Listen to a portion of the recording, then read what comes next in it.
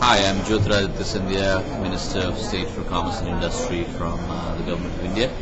Uh, I'm here at the World Economic Forum in uh, in Rio, and uh, um, I'm going to answer Augustus's question on uh, what keeps me motivated. And what keeps me motivated is the ability to impact people, impact lives, and to be able to uh, do good in, in, a, in a positive manner. Uh, and that's the mantra that I sort of wake up with every night, every day, and, and go to bed with every night.